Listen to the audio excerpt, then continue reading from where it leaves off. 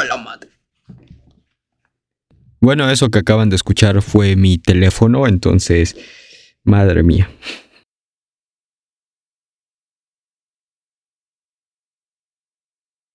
Muy buenas a todos, bienvenidos a un podcast más. ¿Quién sabe qué número de episodio? Por el amor de Dios, soy muy malo en esto. Bueno, para los que no lo saben, eh, he grabado un chingo de episodios. A, la luz salen bien pocos, pero de que he grabado un chingo, he grabado un chingo. Eh, la realidad es que no salen todos a la luz por lo mismo de que eh, siento que el tema se desactualiza y para cuando llega el día en que sale, pues es como de ya para qué lo sacas, papi. Entonces, esto espero que salga hoy mismo lunes. No, no sé, no sé, a lo mejor sale martes y de hecho vamos a hablar de lo que pasó en viernes. Entonces, espero este sí salga a, a la luz, perdón. Y pues bueno, vamos a ver qué, qué, sucede, porque el día de hoy vamos a hablar de Jacob Fatu, cómo llega a WWE. Bueno, toda la crítica y todo lo demás lo, lo vamos a abarcar en el día de hoy. Una vez dicho esto, vamos a comenzar. Un samuano más, que yo creo que es el comentario que más vi en Facebook, en X, en todos lados, un samoano más. Eh, no, es que no es un samoano más, es que es Jacob Fatu. A ver, para no sonar a lo mejor tan fanboy, porque sí, sí estoy sonando medio e-girl o como le dicen los chavos, así, fangirl, no sé, no sé, ustedes sabrán, ustedes me corregirán. El punto es que yo creo que esto es totalmente una excusa, ¿no? Es que el nombre detrás es lo que yo siento que pesa más. Y no, no es un samoano más, repito, no es un samoano más. Es un luchador que es como si, no sé, hubiera una invasión este, nipona en WWE y me dijeras, no, es que otro nipón, puta, la calidad in ring de los japoneses es espectacular. Eh, estadísticamente hablando, yo creo que hay mucho talento japonés y pues es como si me dijeras otro japonés en WWE ya, pero llega Okada, ¿no? Es, es el punto haciendo esa analogía en cuanto al sentimiento de pertenencia, de dónde viene el luchador, todo eso, ¿no? Pero lo que importa aquí es el renombre, es a lo que voy. Que esté esta historia de The Bloodline me parece una mera excusa para realmente tener un sustento de cómo vas a meter a Jacob Fatu en, en tu programación, ¿no? Porque pues nunca va a faltar, yo, yo recuerdo mucho, a ver, anécdota así súper rápida, una vez estaba yo, pues ya saben, scrolleando en, Facebook y vi una publicación. ya saben, siempre hay un cabrón que como que le tira mucho a una empresa, ¿no? Y bueno, me salió uno que le estaba tirando a WWE. Y el punto de la publicación era, no, pinche WWE, sí se mamó. Todo, ¿cómo es posible que hayan matado así a un maga? Era un animal fuera de WWE. Y güey, eran puros clips de Jacob Fatu en ese entonces más desconocido.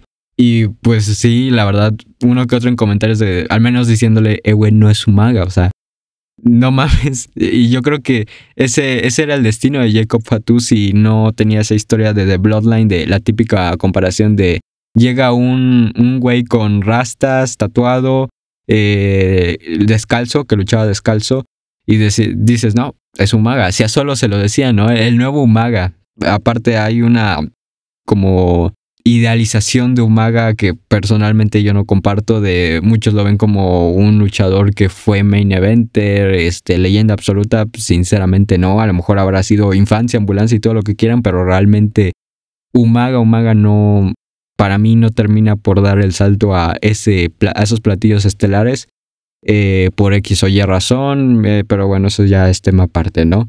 Entonces, a lo que voy es que llega Jacob Fatu a, WWE y es el único de los samoanos, de esta nueva camada de samoanos, más bien de este, de Bloodline, que yo creo que sí tiene un futuro, que el día de mañana cuando se acabe esta, esta historia del nuevo Bloodline, sí tiene con qué defenderse, con qué irse solo en la programación y eso es lo espectacular, eso es lo que le hace un pedazo de fichaje, aparte de, que se lo estaban disputando mucho WWE, eh, AEW y TNA en, sus meses.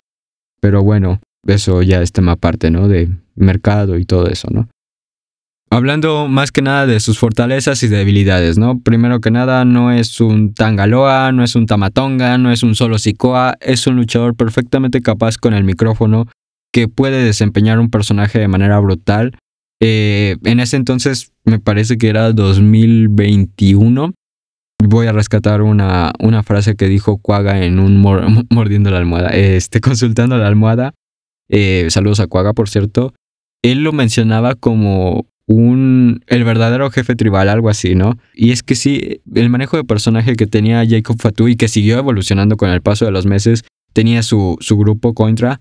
Yo creo que te da para que incluso lamentar que él no sea el líder de esta rebelión de voy a ser el verdadero jefe tribal, de hago un golpe de estado. O sea, hubiera sido lo ideal, ¿no? Porque este luchador sí te puede cumplir unas botas que solo Sikuan no está llenando. O sea, seamos sinceros, el querer girar SmackDown en este nuevo Bloodline con solo Sikoa al mando no tenía sentido cuando solo venía perdiendo desde hace meses. Ya ah, lo buqueabas como un güey que según se veía invencible, pero te repito, está chiquito. Eh, que yo casi nunca he tenido problemas con que un luchador esté, esté chiquito, pero es que en solo el buqueo como que dices, no, no va, o sea, no combina, pues. Y aparte no hablaba y todo eso. Y de momento le das un pinche volantazo así de, no, pues estoy haciendo un golpe de estado y ahora yo soy el jefe tribal y ahora yo hablo. Está bien la historia, pero que sea solo no, no me parece que sea el luchador correcto para el papel. No ha sido una evolución que haya sido ni orgánica, ni, ni mucho menos, ni, ni fructífera, ni, ni lo va a ser. Estoy seguro de que ni lo va a ser. Eh, Jacob Fatu era el que encajaba con este perfil. Es alguien que ya tiene antecedentes de ser un excelente heel, final boss en MLW en su momento, campeón mundial, un luchador también perfectamente capaz en el ring. No, no creo que sea de los mejores en el mundo, pero sí tiene un, un nivel bastante respetable y que, oye, la verdad, sinceramente para WWE basta y sobra. Incluso puede ser una atracción importante a futuro. Aparte de que está, está bastante joven, o sea, está en sus 30. Está, está perfecto el fichaje por donde se le mire. Y bueno, obvio, no, no, no tenía sentido de momento que en el SmackDown post WrestleMania saliera Jacob Fatu y dijera, yo voy a hacer un pinche golpe de estado. La neta, no, no tenía sentido. Él no estaba en The Bloodline. Entonces, pues no había modo de hacer esa transición. Eh, por ese lado lo entiendo. Pero la verdad, sí, yo creo que dense la oportunidad de conocerlo de verdad. Puede ser algo algo interesante para SmackDown. Yo creo que lo refresca mucho. A mí sí, la verdad yo ya estaba podrido de esta historia.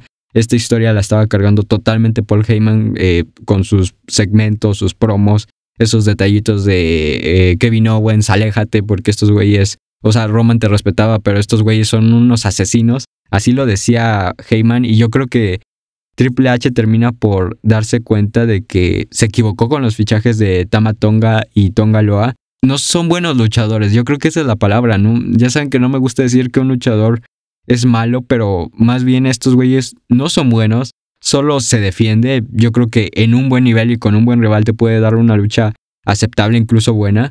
Yo creo que aceptan que estos luchadores tienen un estilo poco ortodoxo y pues pues sí, o sea, lo enfocan en la programación perfectamente de decir estos güeyes no vienen a luchar, vienen a matar, ¿no?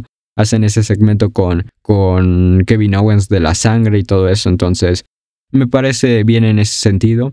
Pero con Jacob Fatu ya vienes a imprimirle un tema más interesante y de camino a SummerSlam yo creo que va a ser espectacular. O sea, e, es importante recaptar esta atención y con Heyman ya de plano diciéndolo, diciéndole a Cien Punk, llévame contigo enfrente de solo. O sea, ya había dado pistas, pero nunca había sido algo tan directo.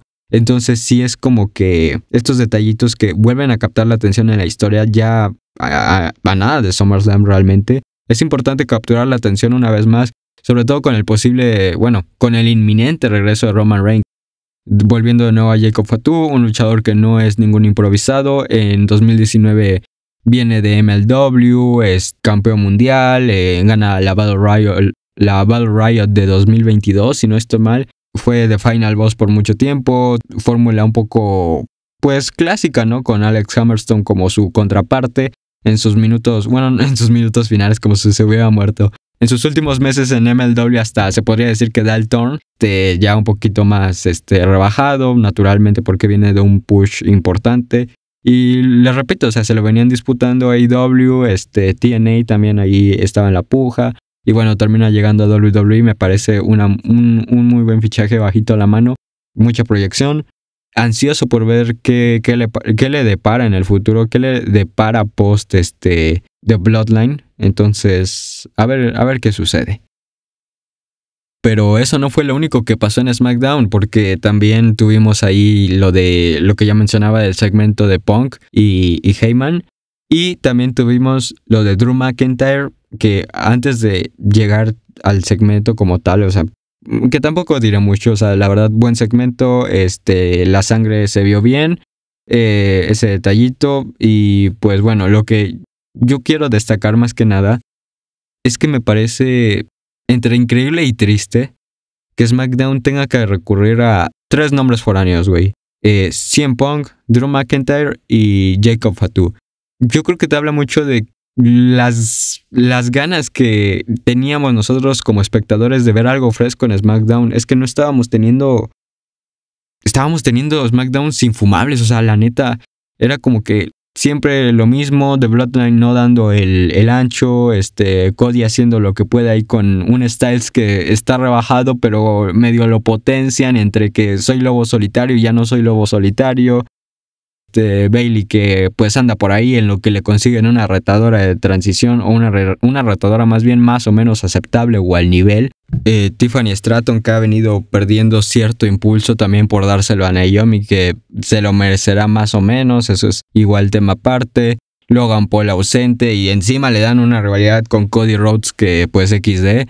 Este, LA Knight que ahí más o menos saca las papas como puede, tampoco es que pueda cargar el show, ni es un luchador que me parece que puede cargar el show.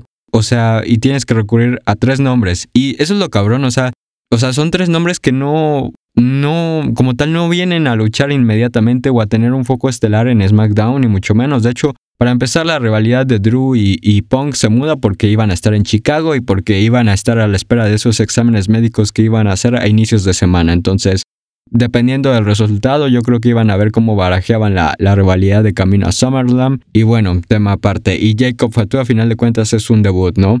O sea, eso te habla mucho de que SmackDown no necesita a lo mejor nombres tan importantes, pero sí necesitas un refresco y estar ciclando tu, tu roster tal y como lo están haciendo en Raw. O sea, me parece increíble que Andrade esté como que no desaparecido, o sea, da la impresión de que no tiene un, rumbo fijo, sí necesita irse ganando confianza con el público como lo, ha venido haciendo, pero sí urge, urge que alguien alce la mano. Bobby Lashley, que creo que se lo comieron los gatos, quién sabe qué pasó con Bobby Lashley, ahí anda de Street Profits, pero como que ya no está Lashley, por alguna razón ahí sigue BFAP, XD.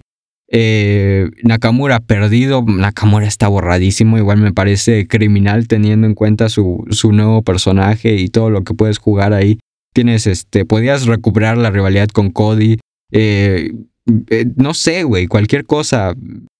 Con muchas cosas puedes jugar con el roster que tienes, este, ahí lo de Gargano y Champa, que parece que van a, a reunir a The Way, o sea, pasan tantas cosas a futuro, pero hoy en día no está pasando nada. Ese es mi problema con SmackDown. Y, o sea, llegaron tres nombres a tener que salvar un show que es bueno, pero lo que me molesta es que veníamos teniendo shows infumables. Y sin estos tres nombres íbamos a tener otro show infumable, más de lo mismo. Que, a ver, desde antes de WrestleMania realmente no teníamos un SmackDown así. En ese entonces teníamos la rivalidad de Cody versus The Rock y Roman Reigns y ahí Seth Rollins medio salía de vez en cuando. Pero, pero sí, o sea, ya hacía falta un refresco en SmackDown y espero que ya vaya siendo el momento de cosechar esos, esas semanas de transición que tuvimos por mucho tiempo. Porque vaya, vaya que hace falta, ya hacía falta un buen SmackDown. Me parece que lo terminan consiguiendo.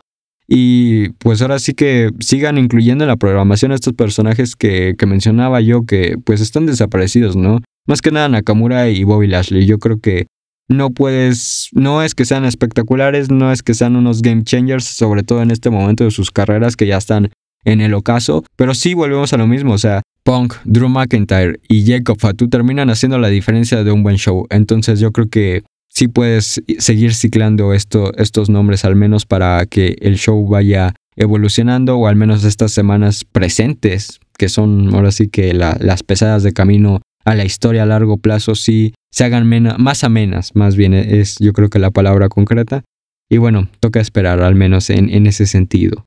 Y bueno chicos, estos son los dos temas cachondos, candentes este, de este fin de semana obviamente tenía un poquito más de en mente en teoría porque no lo saben, pero ahí les va.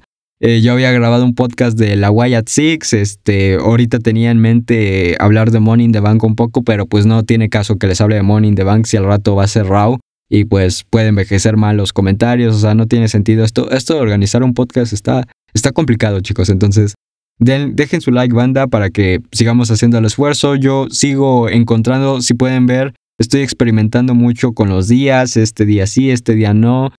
Estoy jugando con todas las variantes y bueno, vamos a encontrar el tono. Ese es el, el objetivo. Vamos a seguir tecleando hasta encontrar el tono y bueno, espero que les esté gustando al menos de a poco, pero pues ahí vamos, ahí vamos progresando. Ya ya parezco SmackDown así de lo poco que vamos haciendo, ¿no? Pero bueno, chicos, dejen su like, compartan, dejen sus comentarios sobre qué opinan sobre el debut de Jacob Hatu, sobre SmackDown, qué les pareció, si estuvo chido, si no estuvo chido, lo que quieran, los estaré leyendo. Compartan también este, este podcast, vayan a ver el video pasado, por cierto, de de NXT, eh, luchadores que fracasaron en NXT pero triunfaron en el roster principal ahí haciendo eh, el tema al revés como normalmente se, se habla, donde pues a lo mejor sí se enaltece más el buqueo de Vince como eh, en comparación del de Triple H, o sea, para que vean que no, no hay necesariamente un buqueo perfecto, o sea, todos tienen sus pros y su contra, entonces es tema, tema aparte, vayan a verlo, también compártanlo, lo que quieran, compartan si quieren este podcast también.